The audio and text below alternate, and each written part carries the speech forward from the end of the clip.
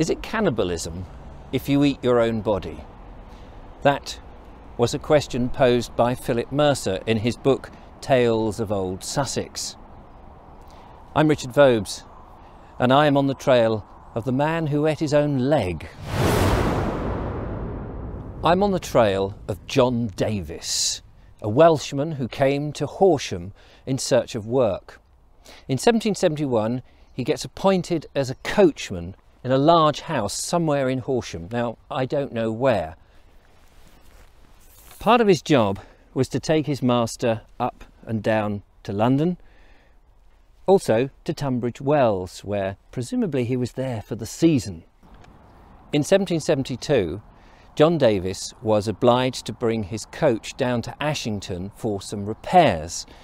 Now, somewhere down here was some coach works, but I'm not sure exactly where. And if it wasn't Coachworks, then it was probably a favoured blacksmith. Anyway, these repairs were going to take some time, two or three days.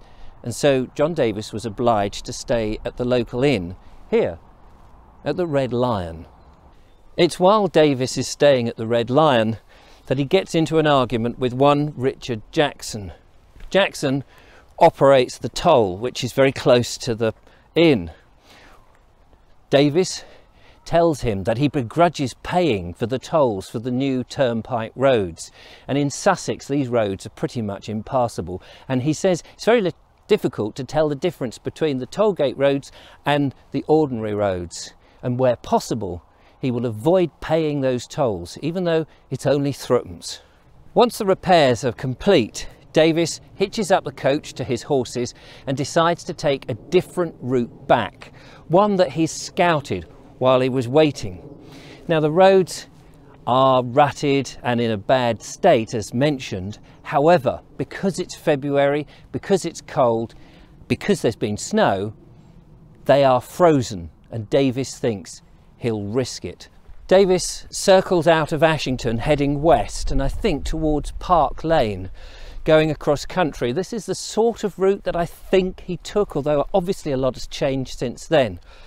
There's another toll at Dial Post, and the reason I think he went to on Park Lane was to avoid that because he seems to head towards Warminghurst and then Goose Green up towards Southwater and then Horsham, or at least that's his intention. I can't emphasize how much that the lanes are not fit really for coaches. Even back then even on the turnpike roads on this circuitous route that he's taking they're firm because of the ice, but rutted, and the coach gets stuck several times. Now, every coachman carries boards for this one purpose. They can shove them underneath the, the wheels and get them under them nice and firm to give them grip and encourage the horses, push on the back. And he does that obviously several times. But at some point along this route, he must have hit a particularly deep one.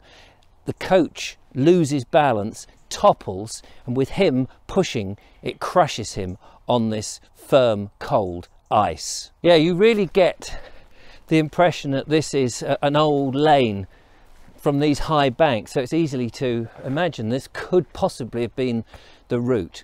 Anyway, it's believed that Davis must have been out cold after hitting the ground with the coach on him, probably from hypothermia.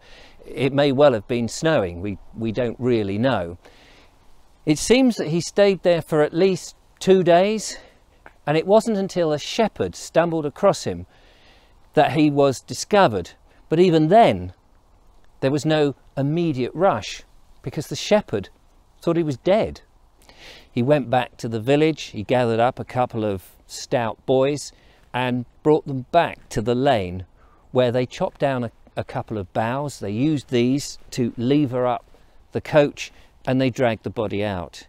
They took him to a place called Jupp's Hovel.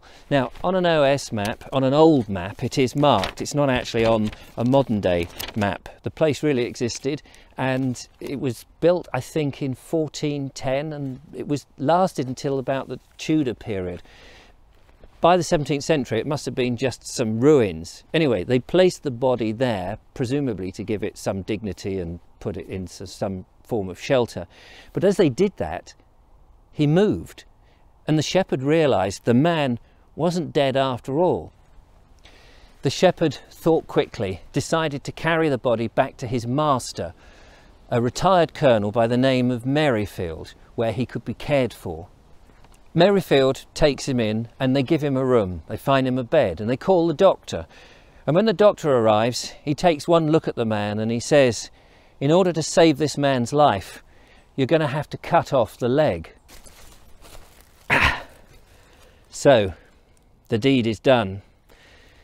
The doctor, who is uh, an ex-surgeon, amputates the leg. And it seems that Davis must have been in a coma because he doesn't protest or anything, and in fact stays like this for some time, maybe a day or two. But eventually he does wake. And when he wakes, he's delirious, he's in a fever, he's breathing rapidly, and the doctor returns. He instructs Merrifield to feed him with pie and ale. The ale, obviously, to anaesthetize him and try and keep the pain, which must have been quite severe, uh, down to an absolute minimum. Davis eventually comes out of this delirious state. He wakes, his consciousness returns, and Merrifield has the terrible job to tell him about the leg. Well, you can imagine, Davis is surprised, shocked, and he doesn't believe it. And so he demands to see the limb. To Merrifield's consternation, they couldn't find the leg. It was odd. I mean, it couldn't have walked off on its own. So all the staff were questioned. Nobody knew anything about it. Eventually, though, the, the cook shuffled forward and admitted that she had been confused. You see, she'd found this hacked up piece of meat packed in ice at the back of the pantry and her orders were to make pie for the gentleman upstairs. She thought this was the meat to use in the pies for the gentleman upstairs and so she'd used it. And so you see, Davis became the man who ate his own leg.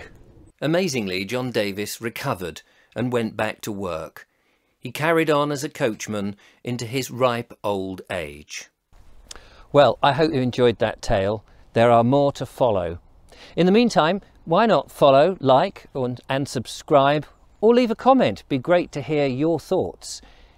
You could, of course, become a patron and help support what we're doing here. But until next time, thanks so much for watching. Bye for now.